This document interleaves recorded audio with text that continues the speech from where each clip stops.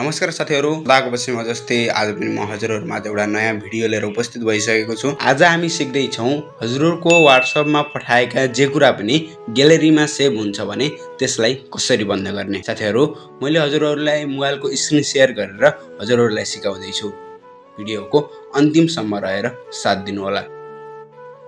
सर्वप्रथम साथीहरू हजुरहरूको मोबाइलमा रहेको वाट्सएप एपलाई ओपन गर्नुहोस्।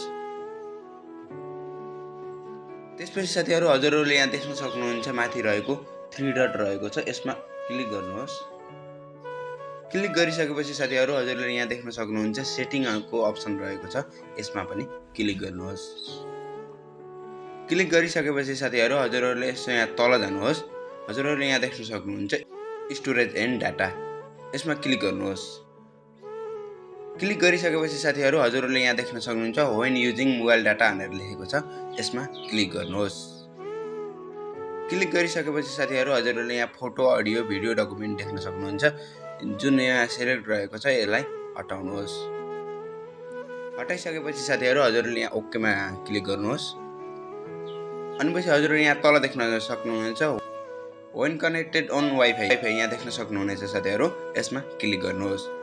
क्लिक गरिसकेपछि साथीहरू अघि जस्तै एमा पनि सबैमा लागेको राइटले हटाउनुहोस्।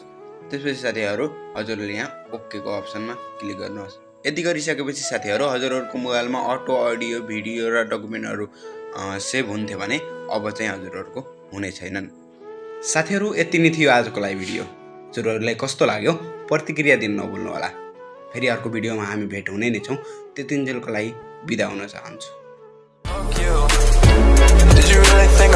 You?